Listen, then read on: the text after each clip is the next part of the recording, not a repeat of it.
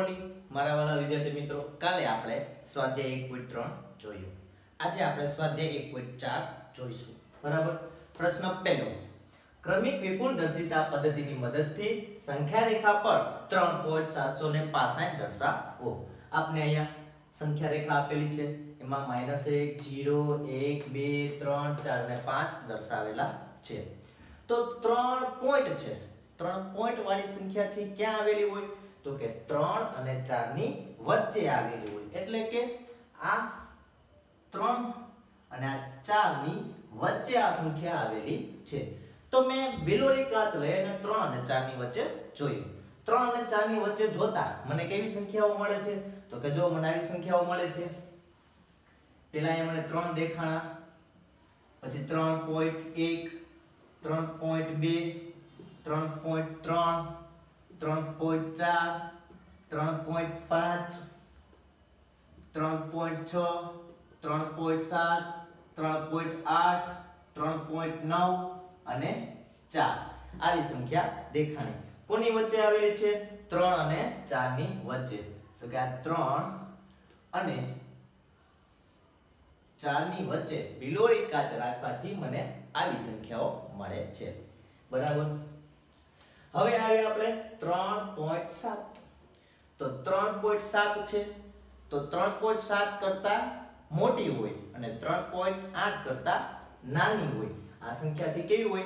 3.7 કરતા મોટી અને 3.8 કરતા નાની. તો 3.7 આ સંખ્યા રેખા ઉપર તમને ક્યાં દેખાય છે? તો કે જો મને અહીંયા દેખાય છે, આ એરિયા 3.7 અને અહીંયા છે 3.8 તો આ બે સમય સંખ્યા છે. બે સમય સંખ્યાઓ વચ્ચે અસંખ્ય સમય સંખ્યાઓ આવેલી હોય છે તમને ખબર જ છે. તો 3.7 અને 3.8 ની વચ્ચે પાછું મેં બિલોડી કાચ રાખીને જોયું. તો આપને કેવી સંખ્યાઓ મળે છે? તો કે મને આવી સંખ્યાઓ મળે છે. અહીંયા હતા 3.7 હતા. પછી થયા 3.71 3.72 3.73 3.74 ત્રણ પોઈન્ટ પિંચોતેર ત્રણ પોઈન્ટ છોતેર, ત્રણ પોઈન્ટ સિત્તોતેર ત્રણ પોઈન્ટ ઇઠોતેર ત્રણ પોઈન્ટ ઓગણએસી, અને ત્રણ પોઈન્ટ એસી, એટલે કે ત્રણ પોઈન્ટ આઠ. આવી સંખ્યાઓ મળે છે. કેની વચ્ચે મળે છે?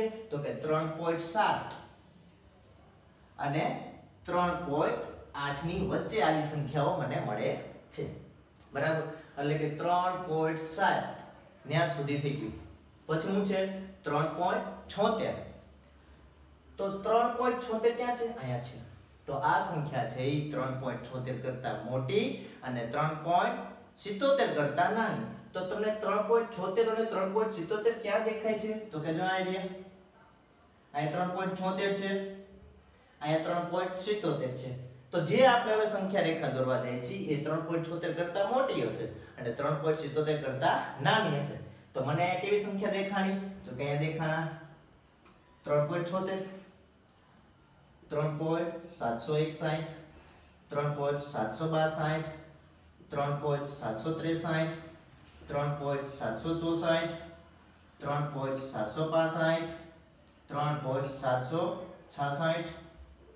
ત્રણ પોઈન્ટ સાતસો સડસઠ, ત્રણ પોઈન્ટ સાતસો અડસઠ, ત્રણ પોઈન્ટ સાતસો ઓગણસિત્તેર અને ત્રણ પોઈન્ટ સાતસો સિત્તેર અથવા તો સિત્તોતેર.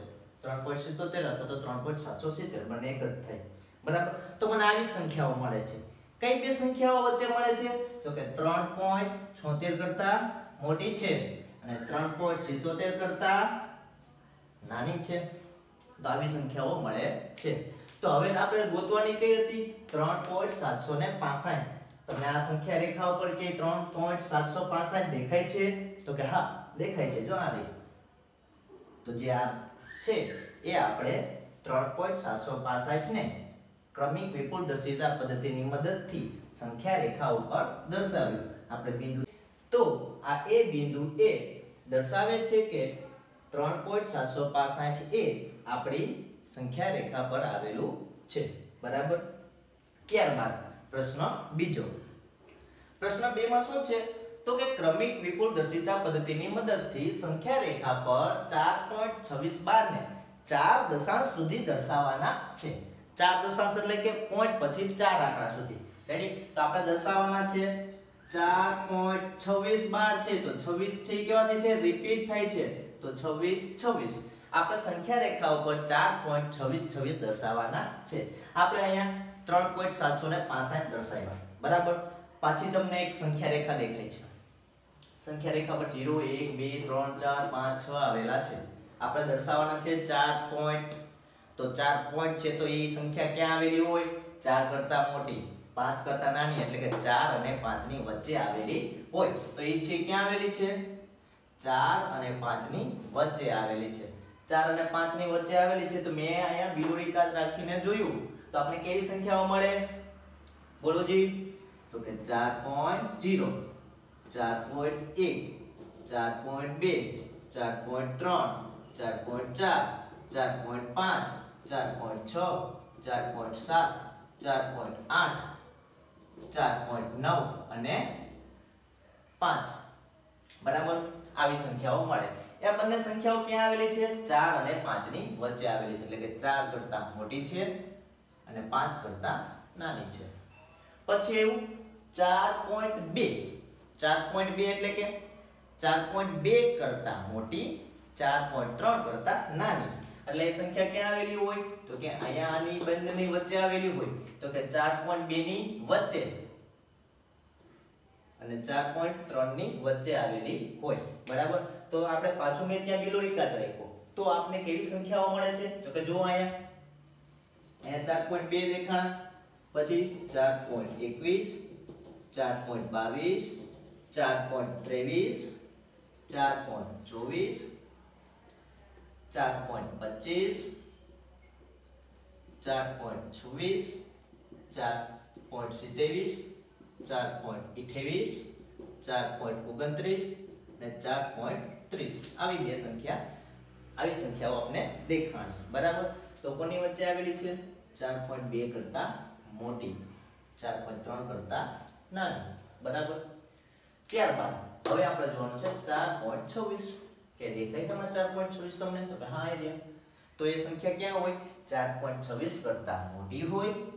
અને ચાર પોઈન્ટ સિત્તેરીસ કરતા કેવી હોય? નાની હોય. તો આ સંખ્યા રેખા ઉપર આપણે જે આવેલી સંખ્યા, એ ચાર પોઈન્ટ છવ્વીસ કરતા મોટી અને ચાર પોઈન્ટ સિત્તેરીસ કરતા કેવી હશે? નાની હશે. તો પાછું આપણે બિલોડી એકાદ રાખીને જોઈએ તો કેવી સંખ્યાઓ મળે? તો કે આપણે પેલા દેખાય ચાર પોઈન્ટ છવ્વીસ દેખાય. પછી ચાર પોઈન્ટ બસો એકસાઠ. ચાર પોઈન્ટ બસો બાસઠ. ચાર પોઈન્ટ બસો ત્રેસઠ. ચાર પોઈન્ટ બસો ચોસઠ. ચાર પોઈન્ટ બસો પાસઠ. ચાર પોઈન્ટ બસો છાસઠ. ચાર પોઈન્ટ બસો સડસઠ ચાર પોઈન્ટ બસો અડસઠ.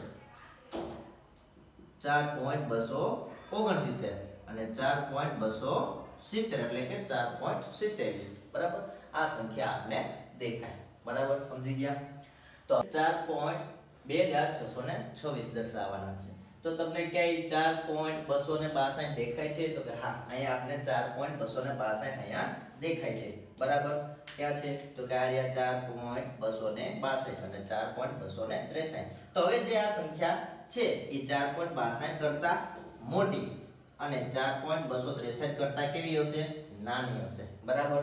તો આપણે જોઈએ કે મેં અહીંયા બિલોડી કાચ રાખીને જોયું તો મને કેવી સંખ્યાઓ મળે છે? તો કે આપણે મળે છે ચાર પોઈન્ટ બસો બાસઠ. એટલે કે પાછળ એક અંક વધારતો જવાનો.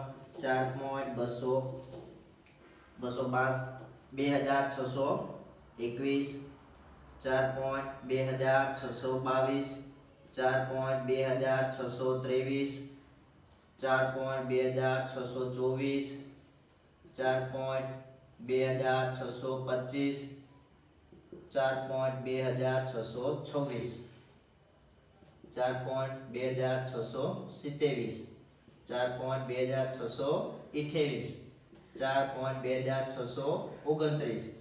ચાર પોઈન્ટ બે હજાર છસો ત્રેસઠ. ચાર હજાર ચાર પોઈન્ટ બસો ત્રેસઠ. એટલે કે ચાર પોઈન્ટ બે હજાર છસો ત્રીસ. આ સંખ્યા આવેલી છે. તો હવે આપણે દર્શાવવાની છે કે ચાર પોઈન્ટ છવ્વીસ છવ્વીસ. તો ચાર પોઈન્ટ છવ્વીસ છવ્વીસ તમને આ સંખ્યા રેખા ઉપર કે દેખાય છે? તો કે હા આ છે આપણે ચાર પોઈન્ટ છસો છવ્વીસ.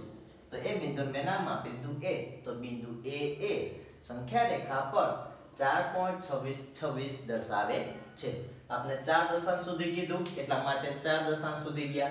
જો આપણે પાંચ દશાંશ કીધું હોય, તો હજી એક સંખ્યા રેખા એડ કરવી પડે. છ દશાંશ કીધું હોય, તો હજી એક સંખ્યા રેખા એડ કરવી પડે.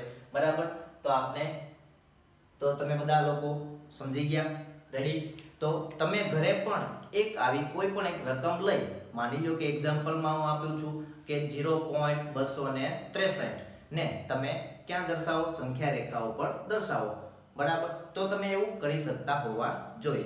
હવે આપણે આગળના વીડિયો લેક્ચરની અંદર સ્વાધ્યાય 1.5 જોઈશું.